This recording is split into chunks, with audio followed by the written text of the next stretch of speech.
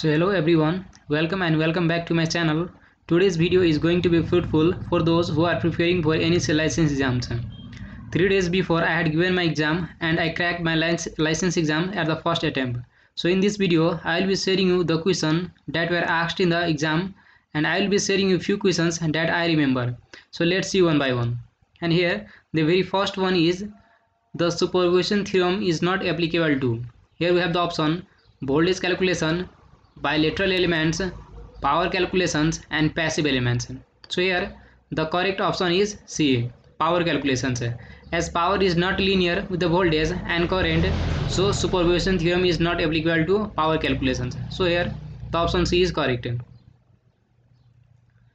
And here the second one is the power factor of DC circuit is always. And here we have the option 0, option B less than 1, option C greater than 1 and option D unity so the power factor DC circuit is always unity. And here for concept the overall power factor is defined as the cosine of angle between the phase voltage and the phase current. And in AC circuit the power factor is the ratio of real power following to the load to the apparent power in watt. And the real power is the unit for real power is watt and the apparent power is volt ampere. So it is it can be also defined as the watt to volt ampere ratio and you know the power factor is given as cos phi. And since phi is the angle between the voltage and the current so uh, for a purely resistive DC circuit the angle between the voltage and the current is 0 degree. So the power factor is going to be cos 0 that is unity. So the power factor will be unity that is 1 so here the correct one is option D. Similarly here we have the next one. According to Nyquist stability criteria. Where should be the position of all zeros corresponding to S plane. So obviously the position should be on the left half. Here according to Nyquist stability criteria zeros must lie on the left half of the s plane so for the system to be stable the poles and zeros should lie on the left half of the S planes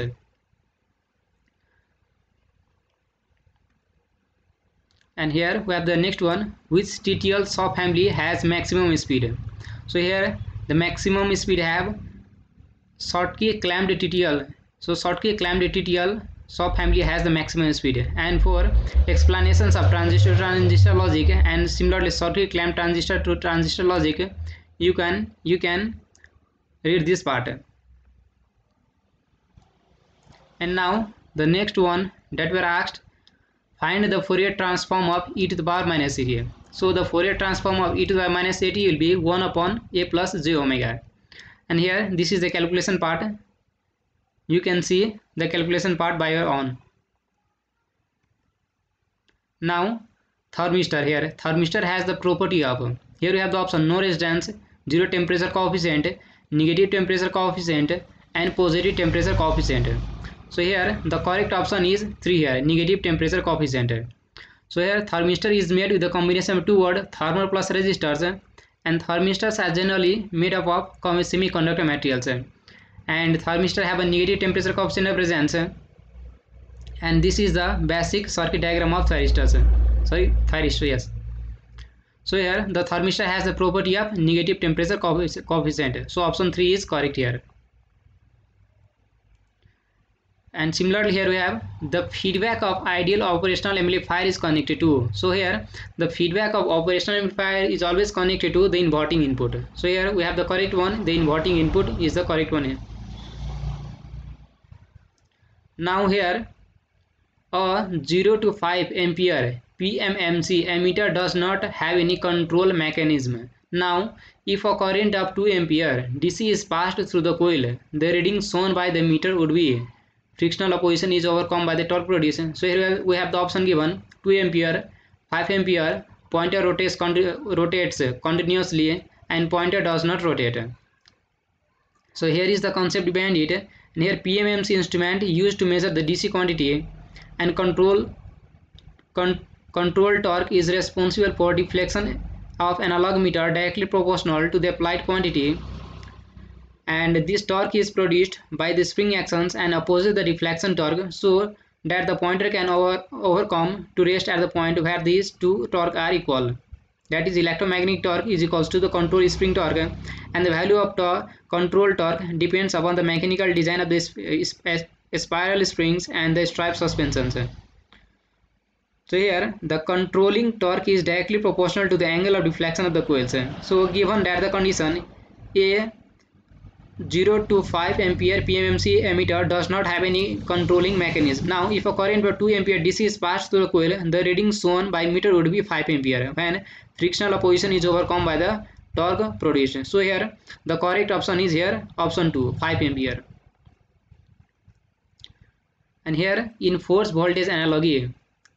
So in force voltage analogy here we can see here we have the force analogy, here voltage analogy and the current analogy so in force voltage analogy here you can say velocity is analogous to current. So velocity is analogous to current. So option 3 is correct.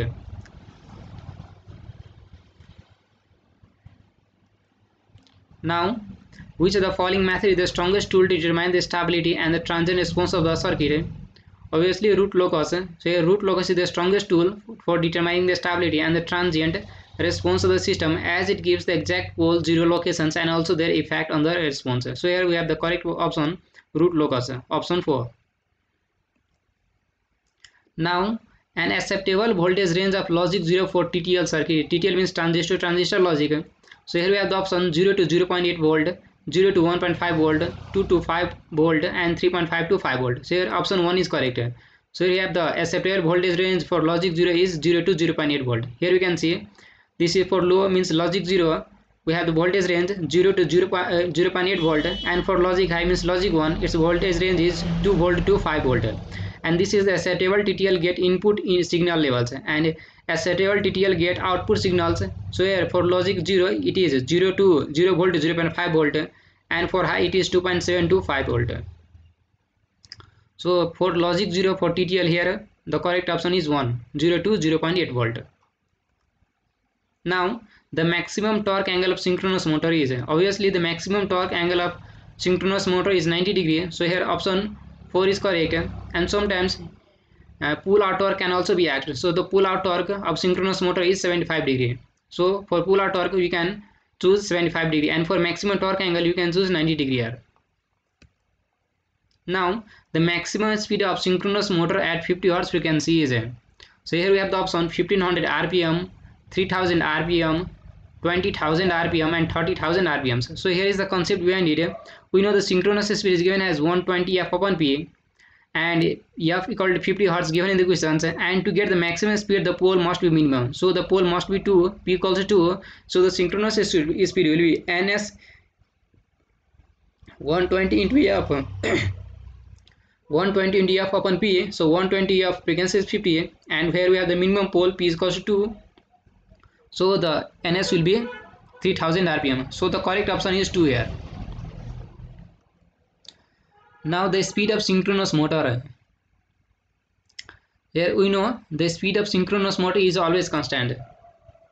So here synchronous motor are capable of running at constant speed irrespective of the load acting on them so and unlike induction motor where the speed of motor depends upon the torque acting on them synchronous motor have got a constant speed torque characteristics so therefore, from no load speed to full load speed, the torque of three-phase synchronous motor remains constant throughout.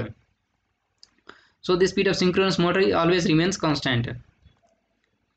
And here is the table given list of tables ASK for amplitude amplitude shift keyings, frequency shift keyings, and phase shift keyings. So from this table, you may be asked as which one has more bandwidth or which one consumes the least least power so such type of question may be asked. So altogether two questions were asked from this table one where which one has the better noise immunity? And other one was which one has the low bit rate? So here the low bit rate is obviously here ASK so you can read this table.